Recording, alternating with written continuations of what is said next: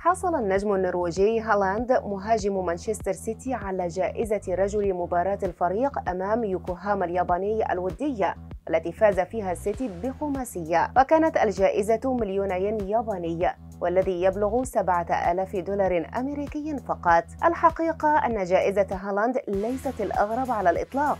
ففي عام 2019 حصل حسن كاجوكي على جائزة لاعب المباراة في الدور المالوي وكانت الجائزة دجاجة في قفص من ورق مقوى بينما كانت جائزة مارتن أوديغارد لاعب ريال سوسيداد كلاعب الشهر في الفريق سمكة كبيرة في أحد المطاعم. وفي جنوب إفريقيا مع صن داونز حصل كيكانا على جائزة خاصة بعد أداء مميز أمام بولوكوان سيتي إذ حصل على باقة إنترنت وصلت إلى 5 جيجا بايت.